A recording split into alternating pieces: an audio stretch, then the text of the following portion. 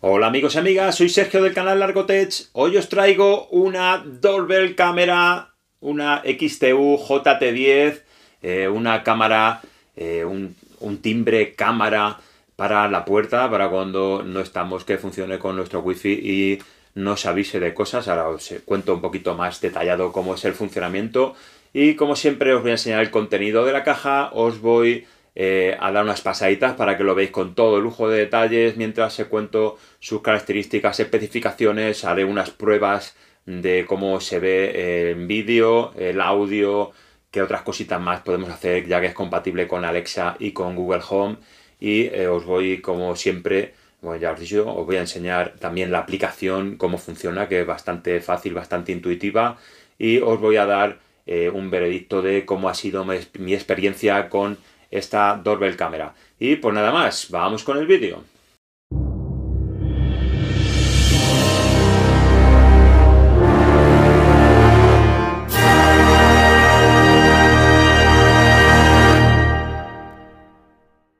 Y el contenido de la caja, la verdad es que eh, es bastante completito. Vamos a tener las típicas pegatinitas para eh, avisar a los cacos, a la gente que nos visita, que vamos a tener eh, seguridad en casa con la alarma de la doorbell eh, cámara. Vamos a tener eh, para el montaje tacos, tornillos, destornillador, eh, un papel adhesivo, una esponjita adhesiva de doble cara. Yo lo he utilizado con un pegamento de doble cara para estos días que he estado utilizándolo y la verdad es que no se ha movido para nada. luego viene obviamente la cámara para poder utilizarla con su timbre y también tenemos el eh, la bocina inalámbrica que vamos a poder colocarla en cualquier parte que queramos en nuestra casa. Y echándole un vistazo a la cámara, pues nos encontramos en la parte delantera que vamos a tener un plástico negro brillante, vamos a tener la cámara que vamos a tener hasta una resolución de 2K, vamos a tener un poquito más abajo el sensor PIR eh, de movimiento, el orificio para el micrófono, el botón de, eh, para llamar al timbre y el aro de luz que vamos a tener alrededor que nos va a indicar el, si está en funcionamiento, si tiene la batería baja. Y en la parte de, abajo, de atrás vamos a tener el altavoz, que es donde vamos a poder hablar con la otra persona que nos está llamando vía teléfono o vía Alexa.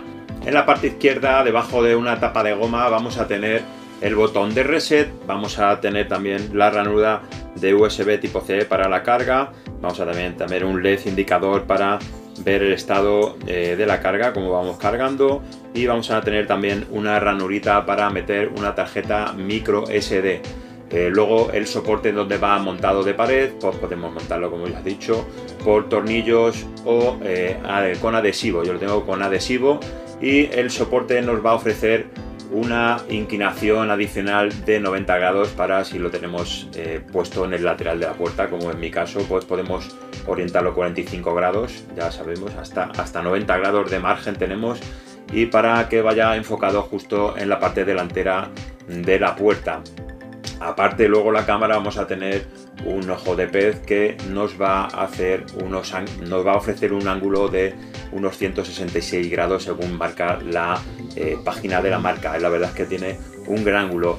Eh, lo que no me gusta a mí es que es muy alargado, con lo cual, por ejemplo, yo me lo puse a mi medida y, por ejemplo, mi hija que le sacó dos cabecitas, pues se le ve un poquito la frente, con lo cual eh, yo como tengo la mm, tengo en vertical la cámara si la pusiéramos en horizontal por ejemplo en mi portal que es un pasillito pues nos vendría mejor porque nos alumbraría nos vería todo el pasillo eh, y no tendríamos que eh, ver la altura porque ya os digo que como de altura nos va a, dar muy poco rango vale que es el fallo que le veo a esta cámara pues si lo ponemos la cámara en horizontal pues grabaría en vertical. Lo único que tendríamos que jugar con colocar el teléfono de una forma u otra para eh, ver a la persona, ¿vale? Pero así nos dejaría, nos cubriría todo el ángulo, techo, suelo y si dejamos, nos deja el repartidor algún paquete, por ejemplo, en el felpudo, pues lo tendríamos siempre cubierto.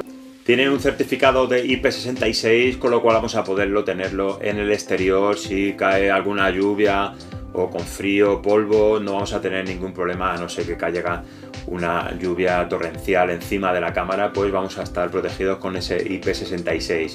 En cuanto a la autonomía, más o menos se gasta en una semanita un 10%, con lo cual podríamos llegar casi a los 3 meses de autonomía con una sola carga. Eh, yo lo he utilizado en mi puerta y la verdad es que ha tenido muchísimo... Eh, hasta que configuré las zonas de presencia humana, pues la verdad es que tuvo muchísimas, muchísimas notificaciones, con lo cual gastó un 10% en una semana, pero ya os digo que estuvo bastante activa eh, la camarita.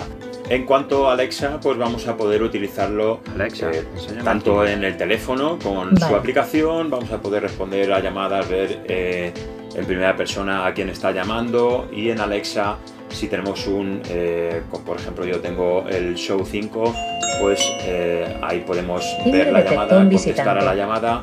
En los demás Alexa que no tenemos pantallas, pues vamos a poder responder eh, directamente por voz. Y ya directamente te sale la llamada de la puerta. Te avisa como que está llamando a alguien a tu timbre y contestas. Ya os digo, en el show con pantalla ves la imagen y hablas, interactúas con la persona o en los que no tenemos pantalla simplemente va a ser como una llamada de voz. Y vamos a dar un paseo por la aplicación.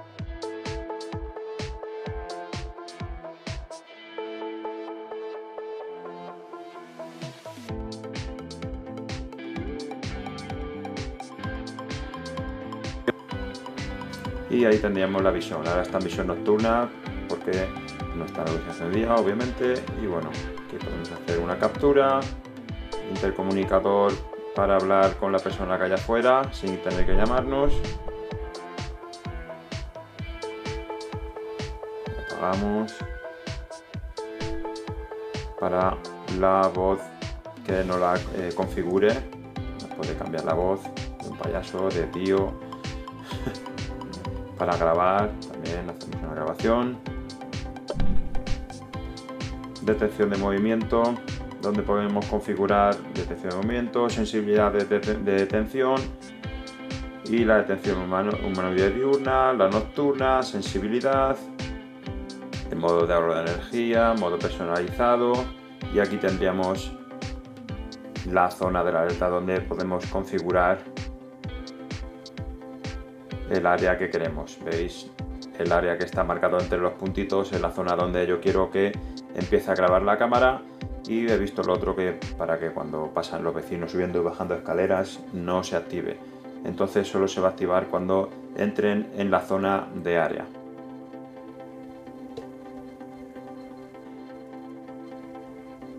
Tiempo de grabación. Vale, ahora está buscando otra cosita que ahora la iremos viendo.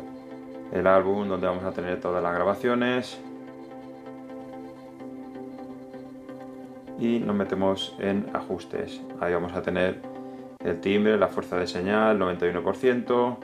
Aquí vamos a tener más eh, opciones de la cámara, servicio de almacenamiento, donde tenemos el almacenamiento básico de la nube, obtenga 6 segundos y luego serían planes de pago para tenerlos más ilimitados. Análisis de inteligencia artificial para la gente, mascota, vehículo, paquetes, gestión del arma, detección de movimiento, que es lo que hemos visto antes, configuración de imagen, modo nocturno, modo en color, automáticamente, ajustes de sonido, micrófono, grabación, el altavoz, volumen del altavoz, cifrado de vídeo para tenerlo cifrado y que sea más seguro tenerlo grabado, cambio de vídeo, grabación de eventos, la capacidad que tenemos, la verdad que gasta muy poca capacidad de las grabaciones, el timbre inalámbrico, donde podemos configurar varias alarmas mensaje de voz para grabar un mensaje de voz cuando pulse la gente, grabación de timbre, gestión de baterías, un 56% en cuatro semanas, servicio avanzado, para enlazar con Alexa y Google Home. Y bueno, creo que os he contado eh, prácticamente todo lo de eh, lo que he podido probar con esta cámara, esta doorbell, y eh, la verdad es que está bastante bien. Lo único que para mí es la inclinación de la cámara que podría abrir un poquito más de ángulo colocándola como ellos ofrecen, que sea en modo vertical, pues se queda muy estrecha la imagen con lo cual para mi caso, que yo soy alto y luego en casa son más bajitos también, tendría que ponerla en forma horizontal para que me cubriera todo el largo, con lo cual ya conlleva de que ya tengo que tener el móvil torcido para eh, poder ver eh, la imagen eh, correctamente. con lo cual es el pequeño fallo que le veo a esta, a esta cámara. luego el timbre suena muy bien, tenemos distintas melodías, muy fácil de configurar, la cámara más fácil todavía porque la detectaba con la aplicación sola, con lo cual ha ido todo de lujo. Ya he visto la aplicación, bastante sencilla, muy intuitiva, pero vamos a poder configurar absolutamente todo lo necesario en una, cámara como esta. la Alexa, pues ya sabéis, como cualquier producto, vamos a poder eh, conectarlo eh, muy fácilmente a la cuenta de Alexa y la verdad es que eh, pues una maravilla. Al que le guste tener doorbell cámara en casa, pues la verdad es que es una auténtica maravilla. Te tocan al timbrecito, te salta la notificación o si pones, eh, si pasa gente por la puerta de tu casa, pues también. Vamos a tener el IP66, muy buena calidad tanto en nocturno como con luz. Eh, ya veis mi portal que yo siempre tengo la luz en la parte trasera con lo cual se tendría que ver peor y no se ve con muy mala calidad de imagen por la noche alumbra muy bien y la verdad es que eh, buena calidad de sonido, buena calidad de vídeo. No he encontrado ningún fallo que os pueda decir. Y pues nada más, eh, cualquier dudita que tengáis me podéis escribir en los comentarios del vídeo. Os podéis meter en el grupo Largotech Alifans en Telegram y ahí podemos hablar eh, más detenidamente de cualquier duda que tengáis de esta cámara o de cualquier otro producto tecnológico. Y por nada más, espero que os haya gustado el vídeo y nos vemos en el siguiente. ¡Hasta luego!